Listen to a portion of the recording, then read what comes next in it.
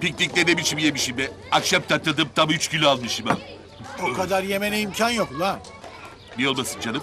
Niye olacak?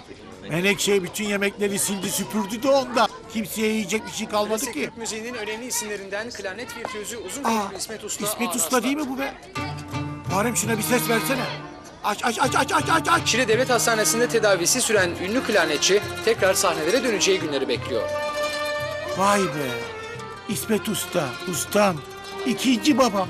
Hastalanmış demek. İyi tanırdın değil mi? Nasıl tanımam be Muharrem? Bana klarneti o öğretti. Elleri de büyüdü. Aliş oğlum. Buyur baba. Gel gel gel. Oğlum koş eve. Abine alana de ki hazırlansınlar. Hasta ziyaretine gideceğiz. Tamam baba. Dur dur dur. Pembelerine git.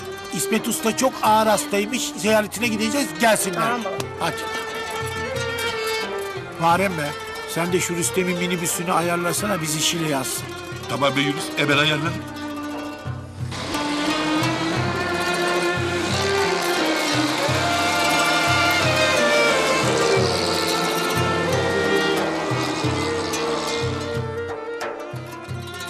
Hiç merak etmeyin İsmet Usta.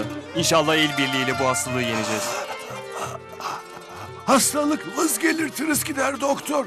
Bir doz sesi her hastalığı iyileştirir. Hiç akrabası yokmuş. Ziyaretçi gelecek mi diye hep kapıyı gözlüyor.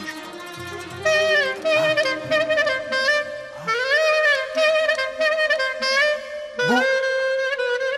Bu Yunus'un klarnet çalışı. Biz yabancı değiliz.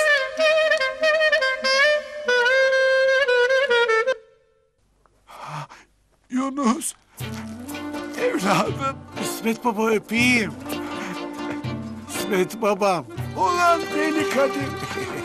Ulan çakal. Gel lan hayırsız. Canım kardeşim bak klarnetini getirdin. 15 yılda anca tamir edebildin ha. 15 yılda. Acelesi yoktu.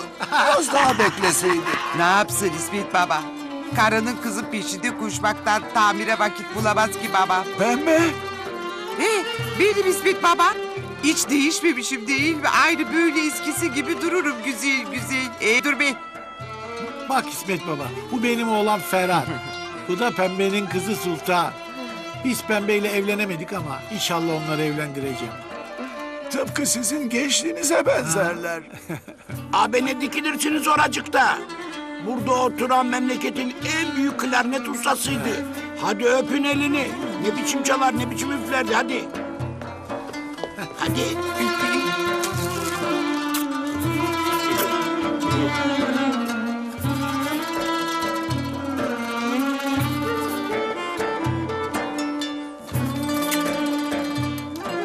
Bu bünyeye klarnet çalmayı İsmet Ustam öğretti.